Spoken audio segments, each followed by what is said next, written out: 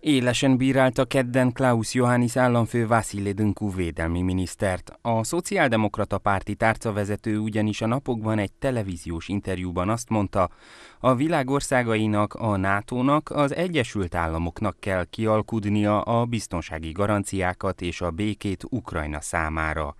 A román államfő szerint azonban csak is Ukrajna döntheti el, hogy mikor, hogyan és mit tárgyal a háborúról. Această poziție este poziția noastră oficială. Ez Románia és az Európai Unió hivatalos álláspontja, és egyes romániai közjogi méltóságoknak gyakrabban kellene újságot olvasniuk, hogy legyenek tisztában ezekkel az álláspontokkal. A Klaus Johanniséval ellentétes véleményt fogalmazott meg kedden Berlinben Orbán Viktor magyar miniszterelnök. A tűzszünet meg a tárgyalások az nem egy ukrán-orosz tárgyalás függvénye aki azt gondolja, hogy ezt a háborút orosz-ukrán tárgyalás le, az nem ezen a világon él.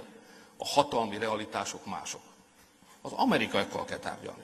A magyar miniszterelnök kijelentette azt is, Joe Biden amerikai elnök túl messzire ment, amikor a többi között háborús bűnösnek vagy tömeggyilkosnak nevezte Vladimir Putyin orosz államfőt.